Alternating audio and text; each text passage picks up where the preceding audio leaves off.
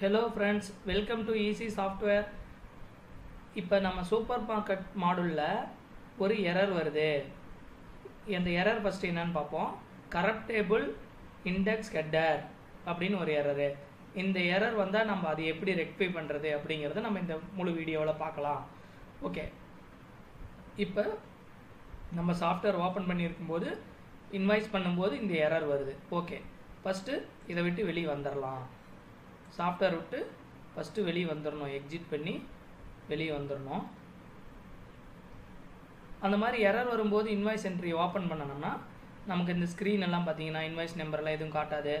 இந்த ஸ்க்ரீன் எல்லாம் பார்த்தீங்கன்னா பிளாக் கலரில் மாறிடுச்சு.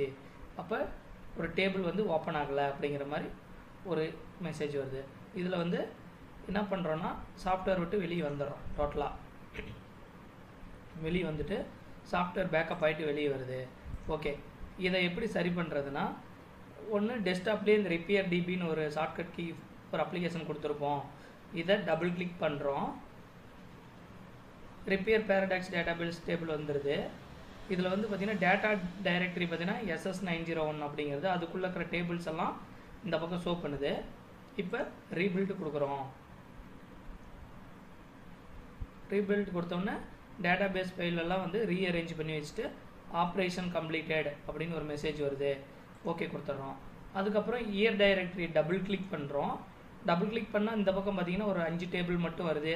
Account transaction name master stock transaction voucher voucher adjustment இந்த இந்த மாதிரி ஒரு அஞ்சு டேபிள் மட்டும் வருது. இப்போ ரீபில்ட் கொடுக்குறோம். இப்போயும் டேட்டா பேஸ் வந்து ரீபில்ட் ஆகிடுது இப்போ இந்த ரிப்பேர் டிபி அந்த அப்ளிகேஷனை வந்து நம்ம க்ளோஸ் பண்ணிடுறோம். ஓகே இப்போ நம்மளுடைய சாஃப்ட்வேரை ஓப்பன் பண்ணுறோம் யூசர் நேம் வந்து கேபிட்டல் பாஸ்வேர்டு கேபிட்டல் கொடுத்து லாகின் கொடுத்துறோம். உள்ளே வந்துடுது இப் பில்லிங்க்கு பார்த்தீங்கன்னா ஷார்ட்கட் கீ எஃப்ஐ எஃப்ஐ எழுத்துறோம்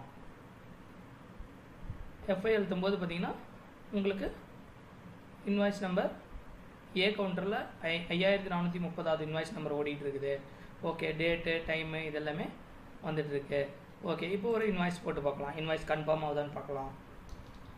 இப்போ ஒரு இன்வாய்ஸ் போடுறேன். இப்போ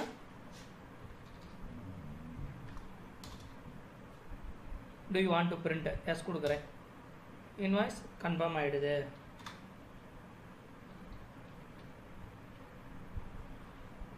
அவ்வளோதான் ஓகே தேங்க்யூ ஃபார் வாட்சிங் இந்த வீடியோ பிடிச்சிருந்தா சப்ஸ்கிரைப் பண்ணுங்கள் இது போன்ற வீடியோக்களை பெற பெல் பட்டன் அழுத்துங்க. லைக் பண்ணுங்கள் ஷேர் பண்ணுங்கள்